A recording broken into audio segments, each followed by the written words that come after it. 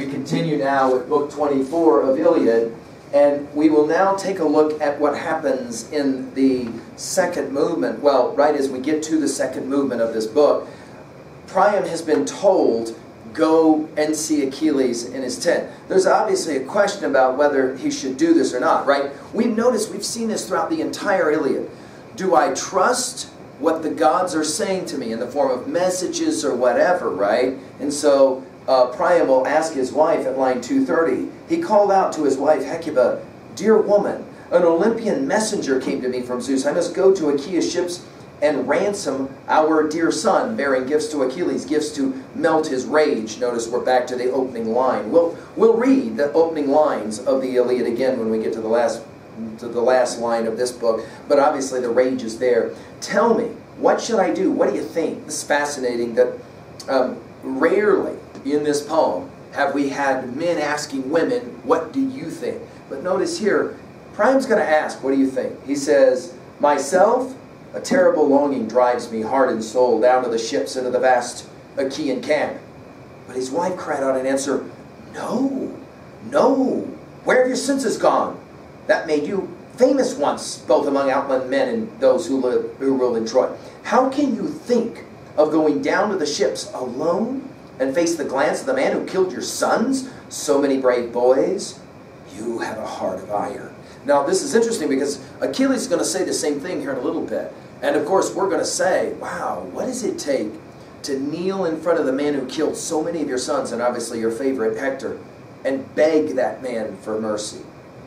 If he gets you in his clutches, sets his eyes on you, that savage, treacherous man. Notice how this echoes what Apollo said about Achilles, but it goes completely against what Zeus, uh, right, uh, said about Achilles.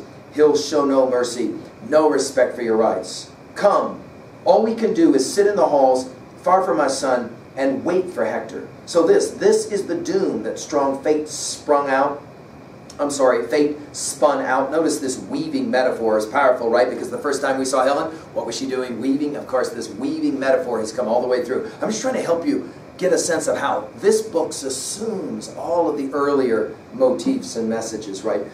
Um, so this, this is our dude. That strong fate spun out. Our son's lifeline drawn with his first breath. The moment I gave him birth to glut the wild dogs, cut off from his parents, crushed by the stronger man, Oh, she says at line uh, 253, Oh, would to God that I could sink my teeth in his liver, eat him raw. Oh, which is exactly, of course, what you'll remember in book 22, right? Um, Achilles said about, about Hector. That would avenge what he has done to Hector. No coward, the man Achilles killed, my son stood and fought for the men of Troy and their deep-breasted wives, with never a thought of flight or run for cover. Well, Mama obviously is, is embellishing the story a bit. Obviously, we know that Hector did, in fact, run. That's what makes him human, right? Um, and, and yet, she's right. He did fight. But the old man, right, Priam, but the old and noble Priam answered firmly, I will go. My mind's made up. Don't hold me back. We then will um, will get Priam getting ready to go on his trip, and he does a couple of very interesting things uh, starting at line 280 or so. Crowds of Trojans were mobbing his colonnades. He gave them a tongue lashing, sent them packing. Get out, you good for nothings, public disgraces. Haven't you got enough to wail about at home without coming here to add to my griefs? You think it nothing, the pain that Zeus has sent me? He destroyed my best son. You'll learn too in tears, easier game. You'll be for our Argive troops to slaughter. Now my Hector's dead. Uh, it's as if he's saying, uh, you know, Hector's dead and gone, and we're going to miss him because our city's going to fall, right? But before I have to see my city annihilated, laid waste before my eyes, oh, let me go down to the house of death. This won't happen. This is one more prayer that doesn't get answered. It's a fascinating study of the Iliad if you want to go back and read it again sometime to just say, find every prayer and then ask whether they're answered or whether they're not answered. And whether that's a good thing or a bad thing. Achilles made a prayer through his mother's Thetis to Zeus that the Greeks would all get jacked. Thetis asks, Achilles or uh, Zeus provides, and of course one of the Greeks that gets jacked is in fact Patroclus. Then we're told Priam herded them off with his staff. They fled outside before the old man's fury. Uh, this word fury is a fascinating study as well, right? So he lashed out at his sons cursing the sight of Helenus, Paris, this will be our last one of our last mentions, noble Agathon, and, and then several of these, Polites, all, all, they're all listed, loud with a war cry, Deiphobus, which of course theoretically was there at the death of Hector, but he wasn't, right? Even lordly Dios, the old man shouted at all nine. He's got nine boys still remaining. Rough commands, get to work. My vicious sons, my humiliations. Whoa, if only you'd all been killed at the fast ships instead of my dear Hector. I wish you were all dead instead of Hector. But I, dear God, my life so cursed by fate, I fathered heroes' sons in the wide realm of Troy. Now, now, not a single one is left, I tell you. Whoa. So note the irony. I've got nine boys, but I don't have any sons. Right? This is, again, at lines uh, 300 and following, right? He even mentions the, the, his favorite three, and Mestor the indestructible, Troilus the passionate horseman, and of course Hector a god among men, no son of a mortal man, which of course he was, right? He seemed a deathless gods. But Ares killed them all, and all he left me are these, these disgraces. And then look what he says about his boys. Liars, we think of Paris. Dancers. Heroes only at beating the dancing rings. You plunder your own people for lambs and kids. This plundering of the own people, of course, this will sound like something out of the, the biblical um, Jewish Old Testament from, you know, book, the, the book of Elijah or Hosea or something, right? Why don't you get your wagon, why don't you get uh, my wagon ready now at once? Pack all those things abroad, aboard. We must be on our way. And then we're told, sounding very much like when Zeus screams at Hera, for example, terrified by their father's rough commands, the sons trundled a mule wagon out at once, a good smoothing one. And then we go into full detail about the cart. It's almost as if it's an Aristeia of a different kind. Priam going on his Aristeia He's an old man, so he can't fight. So what does he do? Well, he gets ready to go on his, what might be his last journey. He, you know, Hecuba obviously thinks, right? We then will have the request of a sign, um, and, and, you know, it's one of those kinds of things that, okay, hopefully it's going to be a good sign, Hecuba says. And at line 373, 4, 5, and following, Zeus in all his wisdom heard the prayer. Straightway the father launched an eagle, truest of Zeus's signs that fly the skies, the dark marauder that mankind calls the black wing. Broad as the door of a rich man's vaulted treasure chamber, well fitted with sturdy bars, so broad each wing of the bird spread out on either side as it swept it through the city, flashing clear on the right before the king and queen. All looked up overjoyed, the people's spirits lifted. So in other words, yay, we got the we got it on the right. Of course, there's always this discussion about, okay, well, what do you mean right? Like the, the way you're standing will determine whether it's right or not to you. You know what I'm saying? The point being here we interpret the signs from the gods in the Iliad, right? And sometimes we're right and sometimes we're wrong. Here, the old man, we're told, is happy enough. And so he gets on the, he gets on the, um, in, in, the wagon with uh, Idaeus, and, and off he goes. Okay, and um, um, Zeus, we're told, will send down Hermes at line uh, 395. Hermes, escorting many is your greatest joy, you above all the gods and you listen to the wish of those you favor. So down you go, down in conducting Priam there through Achaea's beaked ships, so none will see him. None of the Argive fighters recognize him now, not till he reaches Peleus' royal son. Um, and then um, we're going to have this interesting exchange between um, Hermes and, and Priam. Um, at line 440, Priam says, uh, uh, and the old and noble Priam said it once, when asked by uh, Hermes, he doesn't know it's a god, right? He says, Our straits are hard, dear child, as you say, but a god still holds his hands over me, even me, sending such a traveler here to meet me. What a lucky omen. And, and, and then you get this sense that this is this character of Priam. He's always wanting to see the best, which is maybe why when his son Paris came home to Troy with the beautiful Helen, he decided, you know what, let it pass, right? Always looks for the best. Even the, in spite of the fact of what he just said about his boys, look at your build, he says about Hermes. Look at your build, your handsome face, a wonder in such a good sense. Your parents must be blissful as the gods. In other words, he's being reminded of his own son, right? The memories that Achilles has about Patroclus, Priam is obviously having about his boy Hector, right? Um, and then after an exchange or two, where Hermes will lie to him and tell him that he's part of the Myrmidon clan and etc., etc., Priam will ask him at line 480 or so. The old man asks at once, If you really are the royal Achilles' aid, please tell me the whole truth, point by point. My son, does he still lie by the beach ships? Or by now has the great Achilles hacked him limb from limb and served him to his dogs? What, what a question for a father to ever have to ask. The guide in giant killer reassured him, So far, old man, no birds or dogs have eaten him. No, there he lies, still there at Achilles' ship, still intact in his shelters. This is the twelfth day he's lain there, too.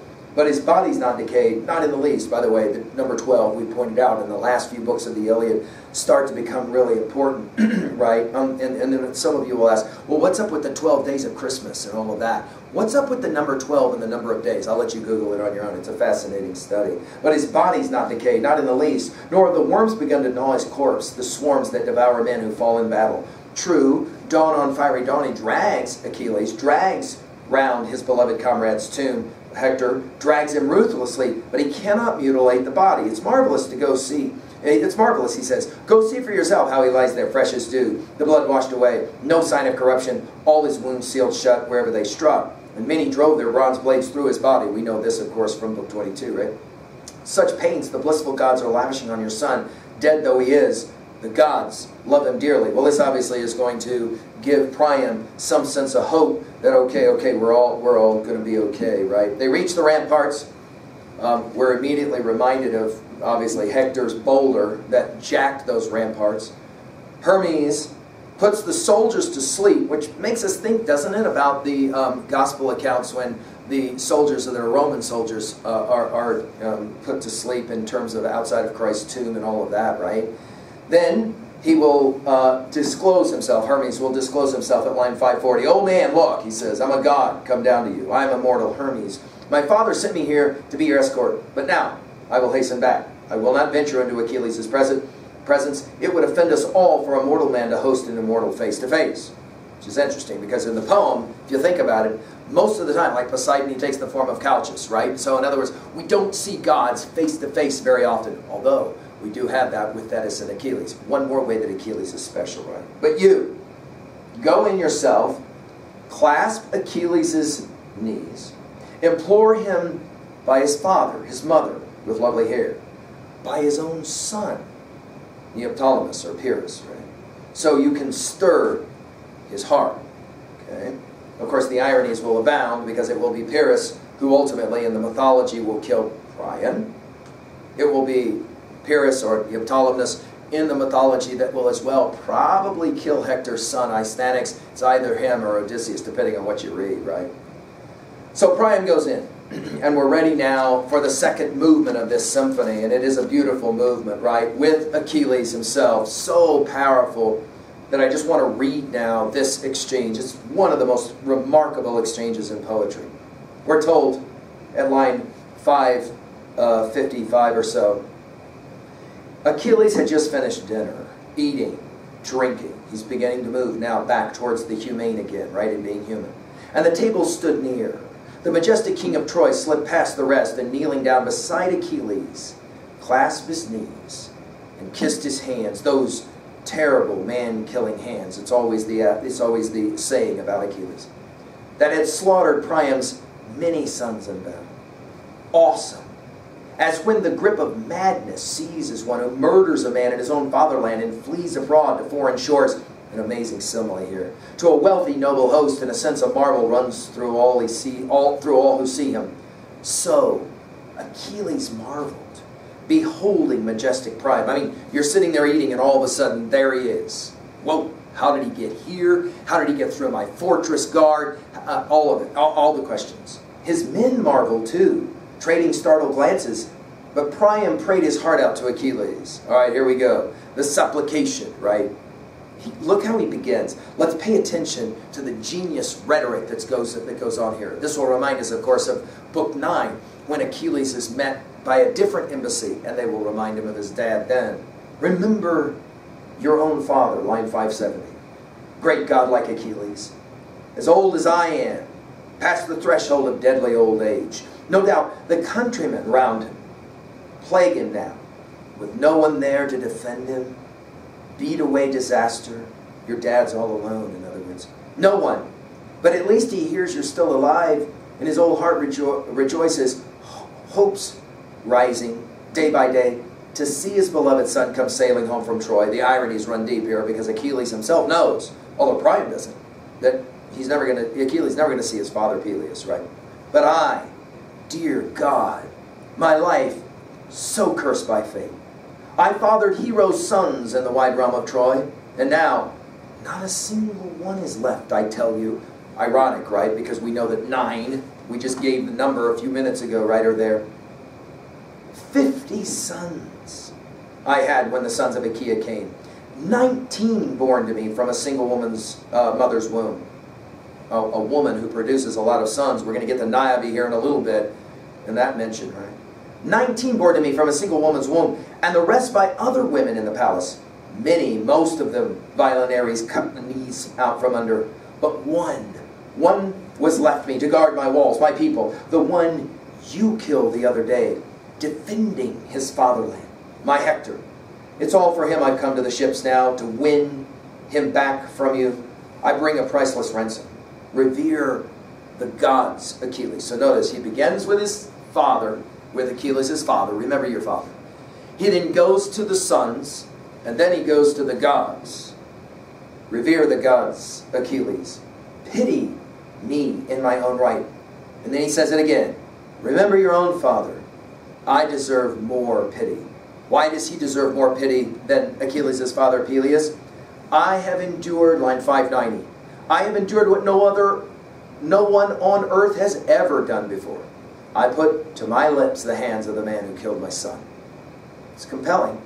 And we're told those words stirred within Achilles this gradual evolution towards becoming human. Stirred within Achilles a deep desire to grieve for his own father. Taking the old man's hand, he gently moved him back, and overpowered by memory, both men gave way to grief. Priam wept freely for man killing Hector, throbbing, crouching before Achilles' feet, as Achilles wept himself, now for his father, now for Patroclus once again, and their sobbing rose and fell throughout the house. Whoa. I mean, let's just pause for a moment. The brilliant scene that's going on here. Old man Priam comes in, falls down in front of Achilles, begs for his son's body back, says, I am the I'm the worst imaginable, most painful man because I, I'm begging the killer of my son, and by extension all of his sons, right? And Achilles then is moved, and Achilles weeps, and he weeps for his father, and then he weeps for Patroclus, his best friend. They're crying together, sharing this moment. Then, when brilliant Achilles, line 600, had had his fill of tears, and the longing for it had left his body, his mind and body, he rose from his seat, raised the old man up by the hand. We're gonna we're gonna have this their hands touching again here in a bit, and filled with pity now for his gray hair and gray beard. He spoke out winging words flying straight to the heart. Now Achilles will speak. Poor man, how much you've borne. Pain to break the spirit. What daring brought you down to the ships all alone to face the glance of a man who killed your son, so many fine, brave boys? You have a heart of iron. Notice, before it was an insult, right, or a, or, or a, a criticism by Hecuba. Now here, it's obviously a compliment. Whoa, you really are brave. Come, he says, Please sit down on this chair here. Let us put our griefs to rest in our own hearts. Rake them up, no more. Raw as we are with mourning. It's interesting you would use the word raw. We know we know that word's been used. Raw as you are with mourning, as we are with mourning. What goods to be won from tears that chill the spirit? Exactly what Thetis, for example, said to her own boy. What goods to be won from tears that chill the spirit? So the immortals spun our lives, that we, we wretched men live on to bear such torments. The gods live free of sorrows. This spinning is, of course, this weaving metaphor is powerful. And then all of a sudden, it seems at, at first maybe out of place, but Achilles is himself, I think, trying to come to his resolution of his own crisis of faith. There are two jars, he says, line 615 or so. There are two jars that stand on the floor of Zeus's halls and hold his gifts. Our misery one, the other blessings. Two jars, one holds bad stuff, the other holds good stuff. When Zeus, who loves the lightning, mixes gifts for a man, now He meets with, with misfortune. Now, good times in turn. When Zeus dispenses gifts from the jar of sorrows only, he makes a man an outcast, brutal, ravenous hunger drives him down the face of the shining earth, stalking far and wide, cursed by gods and men. So with my father Peleus. What glittering gifts the gods rained down from the day that he was born. He excelled all men in wealth and pride of place. He lorded the Myrmidons, immortal that he was. They gave the man an immortal goddess for a wife. Yes, but even on him the father piled hardships. No powerful race of princes born in his royal halls. Only a single son he fathered, doomed at birth, cut off in the spring of life. And I, I give the man no care as he grows old, since here I sit in Troy, far from my fatherland, a grief to you, a grief to all your children. In other words, Achilles admits, sounding very much like, you know, the Confucian code of honor. I, I haven't, junzi, right, the great, the, the, the good man, the just man, I haven't taken care of my father. I haven't done the things that I should do as a son. And I've caused you a lot of grief in the process. And then he goes to, to Priam. And you, too, old man. We hear you prospered once as far as Lesbos, Macar's kingdom, bounds to seaward. Pytharia east, and upland, and Hellespont, vast and north. That entire realm, they say, you lorded over once. Once. You excelled all men, O king, and sons and wealth. But then the gods of heaven brought this agony on you. Ceaseless battles round your walls, your armies slaughtered. And then he says. You must bear up now. Enough of endless tears, the pain that breaks the spirit. Grief for your son will do no good at all. This is exactly what Thetis, of course, said to, to, um, to Achilles. You will never bring him back to life. Sooner you must suffer something worse. Well, this is compelling because, of course, this is words that are spoken from Achilles to Priam, and they are obviously true, but they're also obviously words that Achilles is speaking to himself. Because soon Achilles will die at the walls of Troy,